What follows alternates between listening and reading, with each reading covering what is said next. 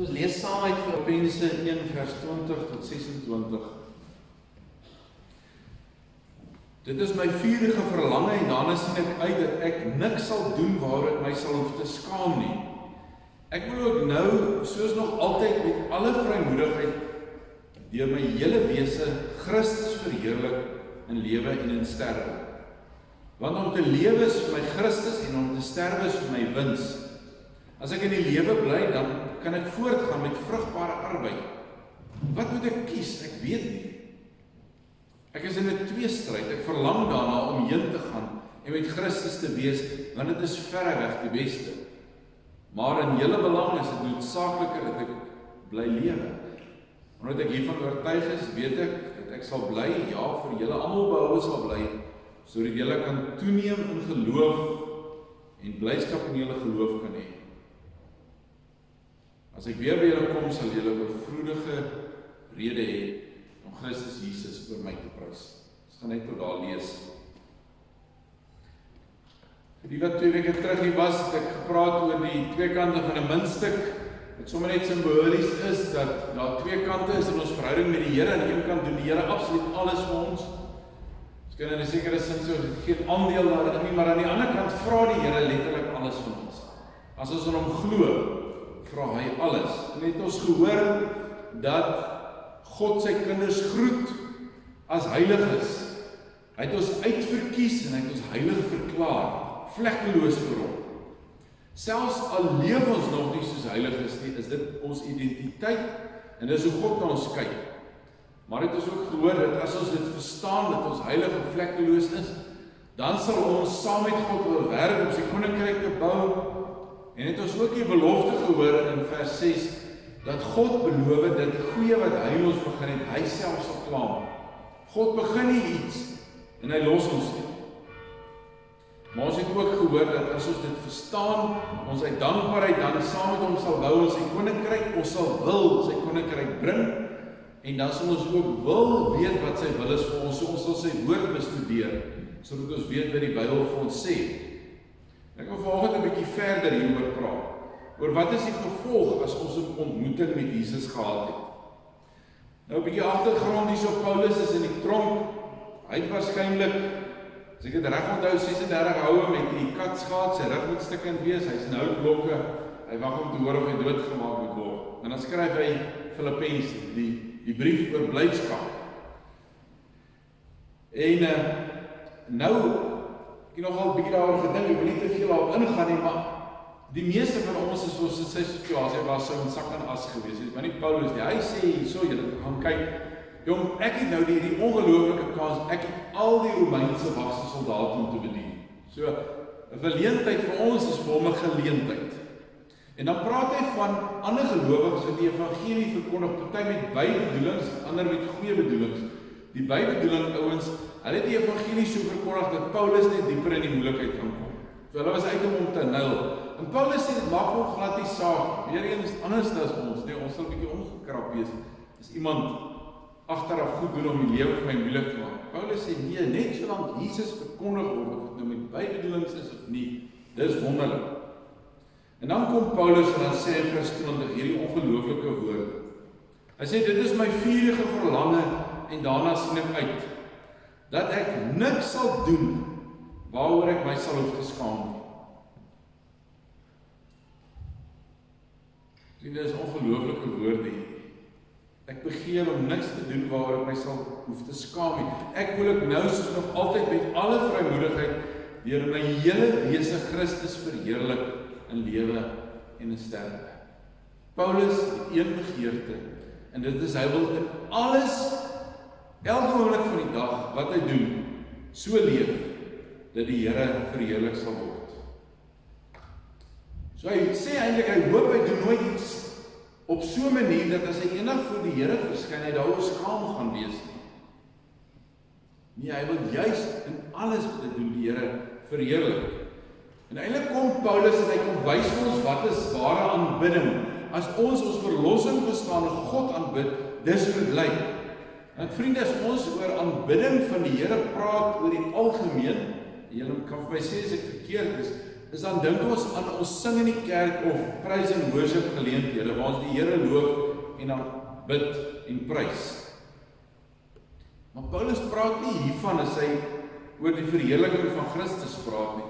Want in 'n sekere sin om om die Here te loof en te prys in die kerk of in 'n spesiale praise and worship wat mense dit ook al lof en aanbiddingsgeleentheid om so iets by te woon vra eintlik niks van ons anders as ons tyd nie. En dit is gewoonlik lekker.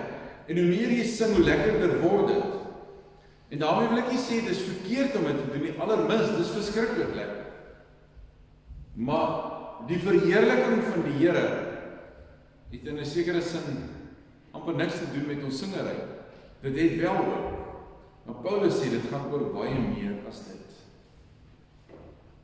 Hy sê dit gaan Hoor, as ons hierdie wonder verstaan wat Jesus vir ons gedoen het, dan wil ons in alles wat ons doen, elke oomblik van die dag God verheerlik.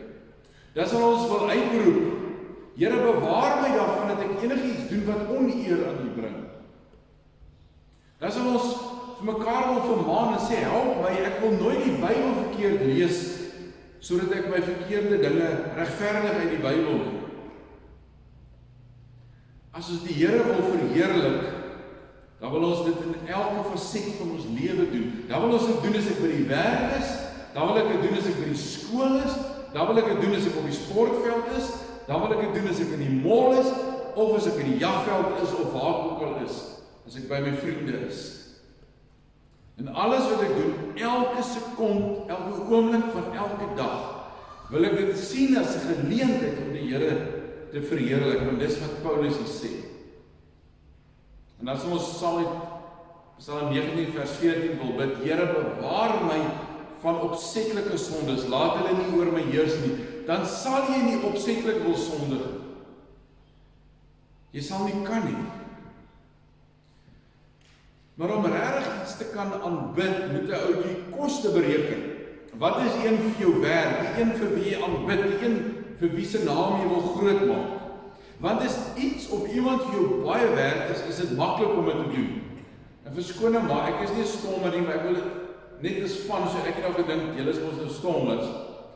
Wanneer 'n stommer 'n 3 druk en ek het toevallig nie gister gekyk hier so ek, het nie voor die tyd ook eers geweet hulle speel die bulle in die stommers. Wanneer 'n stommer 'n 3 druk of die stommers wen 'n wedstryd, dan is dit vir die meerderheid van die stommers ondersteuners geen probleem om uitbundig te skree en op en af te spring baie keer mekaar op die skouer te klap en te sê wel dan seker reg? Kom maklik kom natuurlik. Of as Suid-Afrika die wêreldbeker wen? So ons reaksie en ons aksies vertel waarom ons waarde het So as iemand op vir jou besonder is, dan is dit maklik om te vertel hoe wonderlik daai persoon is. Dit kom natuurlik. Nou kom ons Sondag kerk toe. 'n Deel van die erediens is ons sing saam oor die een in wie ons glo. Nou wil ek vir jou vra, as jy sing, wat is jou ingesteldheid? En wat sê die manier waarop jy sing van hoeveel hy vir jou werd is. Dink so oor dit daar. Hoeveel is die een werd oor wie ons sing vir jou? Nou Paulus skryf Jesus wat vir hom baie werd. Hy sê ek wil ook nou soos nog altyd met alle vrymoedigheid deur my hele wese Christus verheerlik in lewe en in sterwe, want om te lewe is my Christus en om te sterwe is vir my wins. Paulus is iemand wat die koste bereken het en besef het hoeveel Jesus vir hom werd is. Hy weet Jesus moes daar by Damaskus hom eintlik net geskwas het en hom nie gered het nie. En daarom sê hy of ek lewe of ek sterwe, ek het net hierdie een begeerte. Dit maak nie vir my saak of ek lewe of sterf nie. Ek wil net Christus verheerlik. Ek wil nie meer vir myself leef nie, maar vir hom wat my gered het. En as hy doodgemaak word, dan is dit ook nie vir hom 'n bekommernis nie, want dan wil hy Jesus deur 'n manier hoe hy dood gaan verheerlik. Eintlik werk help vers 23 ons baie. Hy sê ek sien 'n twee stryd. Ek verlang daarna om heen te gaan en met Christus te wees want dit is verre weg die beste. Hy het die koste bereken en gesê eintlik kan 'n niks in die lewe lekkerder wees as om by Jesus te wees nie. En daarom het Paulus nie aan die wêreld en die lewe vasgeklou.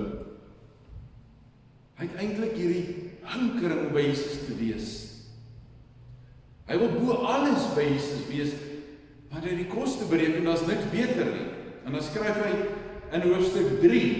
Dis nogal 'n Vriende, alles wat ek nou vertel is vir my hulle, dis moeilik. Maar hy sê in hoofstuk 3, hy sê, "Maar wat eers vir my 'n bate was, beskou ek nou as waardeloos ter wille van Christus." Ja nog meer, ek beskou alles as waardeloos want om Jesus, om Christus Jesus my Here te ken, oortref alles in waarde. So Paulus sê as hy die koste berekening gedoen het, dan dan is alles wat voor dit vir hom belangrik was niks belangrik. Niks. Hy gaan verder. Terwille van hom het ek alles prysgegee en beskou ek dit as verwerplik sodat ek Christus as enigste bate kan verkry en een kan wees en een met hom kan wees. Vrygespreek nie omdat ek die wet onderhou nie, maar omdat ek in Christus glo. Dis die vryspraak wat God gee omdat mens in hom glo. Vriende, alles wat my iets beteken het, is verwerplik. Ek dink ons mis uit op wat die Here vir ons wil gee en ek sluit myself in. Want ek weet nie van jou nie, maar ek sukkel om by hierdie punt te kom dat ek alles waardeloos beskou behalwe Jesus Christus. En as 'n klomp wêreldse goed wat nog vir my belangrik is. Vriende, hierdie woordjie, hy beskou alles as verwerplik. Dis eintlik goed wat jy in 'n asblik gooi. Dit beteken niks nie. Nou vir my is daar klomp goed nog belangrik. Ek ek kan dit nie as verwerklik of ek sukkel. My eie gemak en my eie gerief. Ek hou daarvan. As 'n klomp wêreldse goed wat nog in 'n mate van my sekuriteit gee. My tyd is vir my belangrik, my naam is vir my belangrik, my aardse besittings is vir my belangrik. Daar's 'n klomp goed wat ek geniet om te doen en ek wil tyd hê daarvoor. Paulus het die kos bereken. Hy sê dit het my geen waarde meer nie. Hy gaan so ver om te sê alles wat eers belangrik was is verwerplik.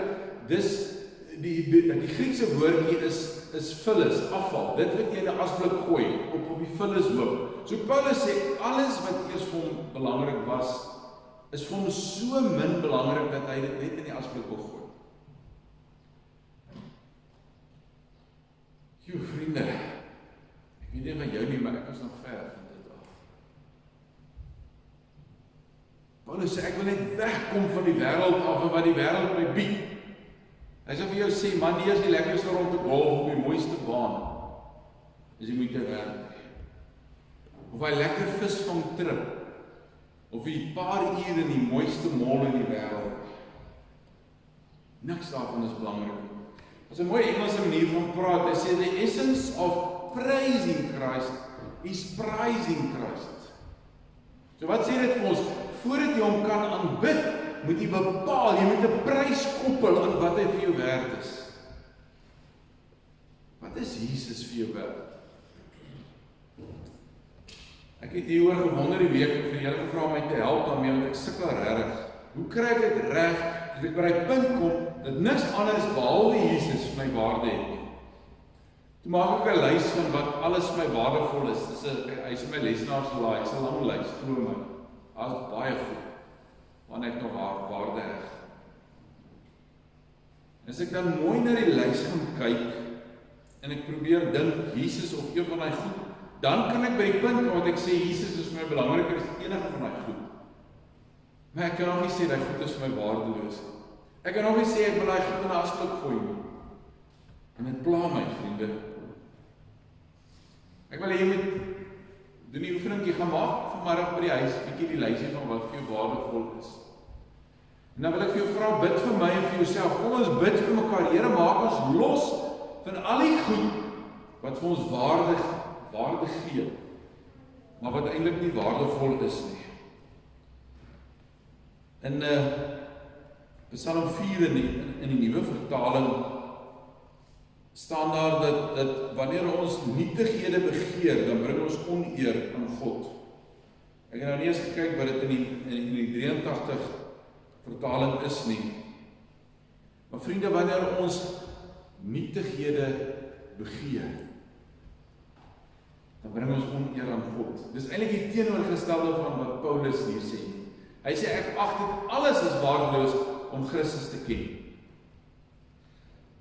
Tog dink ek is daar hoofstuk 3 so bietjie troos, maar dit wys dalk ook vir ons hoe ons te doen. Want Paulus sê in Filippense 3 vers 12 tot 15, hy sê ek sê nie dat ek alles al het of die doel al bereik het. So aan die een kant sê Christus is alles en dan sê ek weet nie of ek al daar is nie, maar dan sê hy maar ek span my in om dit alles myne te maak omdat Christus Jesus my reeds syne gemaak het. Ek gaan werk daaraan, ek gaan inspann.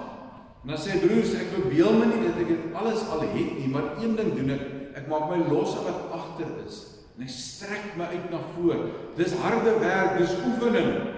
Vers 14 ek span my in om by die wenstreep. Ek hardloop tot die einde toe. Dis moeite, dis opoffering, want Jesus het alles vir my gedoen. Daarom gaan ek my alles gee sodat ek die hemelse prys kan behaal waartoe God my geroep het. En dan sê ons almal wat geestelik volwasse is, moet hierdie gesindheid hê. Wat is die gesindheid om van die wêreld los te kom en te sê Jesus is alles. En op te hou om die wêreld se goed na te jaag. Ons kan ons inspann dat dit waar word vriende. Ons kan elke dag doelbewus kies en ons moet mekaar help om te kies dat Jesus my eerste liefde is. Ons moet kies om na te dink oor wat sy verlossing vir ons werd is. Ons moet kies om aan onsself te sterf en ons eie voor en afkeere neer te lê. Vriende, wat sal help is as ons gedurig dink oor wat vir ons voor lê. Hoe gaan dit in die hemel wees? Hoe gaan dit wees as ons daar by Jesus is? Hoe meer ons daaroor dink, hoe meer gaan ons daarna smag. Maar dan moet ons moeite doen. Ons inspann tyd in sy woord deurbring, tyd met hom deurbring. En dan kan ons en ek dink dis een van die psalms wat hierdie woorde van Paulus die beste beamoen. Psalm 16 wat sê ek het die ek het vir die Here gesê ek behoort aan U. Daar is vir my niks goeds nie behalwe by U. Ek dink dit is presies dieselfde as om te sê alle ander goed is waardeloos. Dis dieselfde om te sê ek daar's vir my niks meer waarde en ek wil niks doen om die Here skade te doen nie. Dis dieselfde as om te sê daar is my niks goeds nie. Behalwe by U. Kan ons dit sê, vriende? Kan ons sê U is my lewe, U sorg vir my? Kan ons sê wat ek ontvang, kom alles van U af. 'n Pragtige deel is vir my afgemeet. Ja, wat ek ontvang het, is vir my mooi. U sien, hoe ons na die lewe kyk bepaal dit of ons vir die Here gaan alles gee. Ons kyk baie keer en ons sien wat ander het, maar die oomblik as jy dankbaar is vir wat jy het, as jy sien die goeie, die mooi wat die Here vir jou gee, dan raak dit maklik. So die bril waarmee ons kyk. Hoe meer ons raak sien hoe ons uit God se hand uit leef en hoe hy vir ons goed is, hoe makliker word dit vir ons. Die psalmskrywer gaan verder sê ek sal die Here loof wat my tot hierdie regte insig gebring het. God bring ons hier vriende. Ons gaan bid. Here bring my by hierdie insig. Selfs in die nag bly ek bewus van wat hy my leer. Ek het die Here altyd by my. Nie daai gedagte vriende dat Jesus altyd by my is moet ons opgewonde maak. Omdat U by my is, sal ek nie struikel nie. U leer my hoe te lewe. Hoe weet ons dit? Jy lees die Bybel. God praat nie met my nie. Maak die Bybel oop, hy praat. Elke woord wat jy lees is God wat in die woord is. Hy praat, vriende. Ek het die Here altyd by my. Omdat hy by my is, sal ek nie struikel nie. U leer my om te lewe en dan hierdie by U is daar 'n oorvloedige blydskap uit die hand kom net wat mooi is. Kan ons dit sê, vriende? Dat daar by U is daar oorvloedige blydskap. Vriende, as ons mooi genoeg daaroor nagedink, gaan ons by die punt kom om te sê ek weet dis waar. Want net God is altyd daar. Net God verander nooit nie. Net God luister altyd. Net God lag nie vir ons uit nie. Net God verstaan altyd. Net God is bereid om altyd te luister.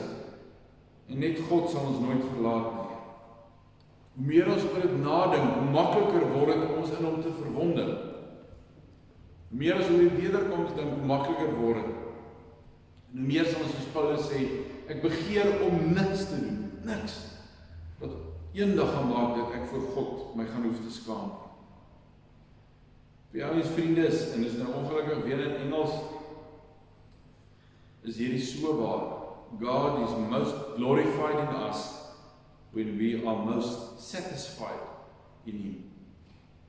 Hoe meer ek en jy ons tevredenheid en ons vreugde in die Here kry, hoe meer word God vredelik. Hoe meer onvergenoegd ons is, hoe meer ontevrede, hoe meer ondankbaar wat ek het in my omstandighede, hoe minder word God verheerlik. Vriende, so as ek en jy bely dat Jesus ons Here is, dan sal my en jou lewe al hoe meer verander. Kan nie dieselfde bly nie. Hoe beter as ons eie verlorenheid sonder Jesus verstaan. Hoe meer ons verstaan dat sonder hom sou ons vandag op pad hel toe gewees het. Hoe makliker word dit om soos Paulus te sê, ek wil tog net nooit iets doen wat die Here skade bring. Die vraag is nie vriende of ons dit baie keer doen nie. Want ongelukkig sondig ons nog. Ons gaan fouteer. Maar is dit ten minste my hartsbegeerte en is dit ten minste groeiende hartsbegeerte? om in alles wat ek doen Christus te verheerlik. Wanneer iemand tot bekering gekom het, kan jou lewe nie dieselfde bly nie. As jy die wonder van God se liefde en genade beleef het, word hierdie begeerte net groter. As hy nie groter word nie of as jy dit verloor het, gaan en gevra van Here maak my opnuut in verwondering oor U. Help my om opnuut te verstaan hoe onverdiend dit is En mag jy saam met my, mag ons dit vir mekaar bid. Saam met Paulus sê, dit is my vurige verlang en daarna sien ek uit dat ek niks sal doen waarop myself hoef te skaam nie. Ek wil ook nou soos nog altyd met alle vrymoedigheid deur my hele wese Christus verheerlik in lewe en sterwe.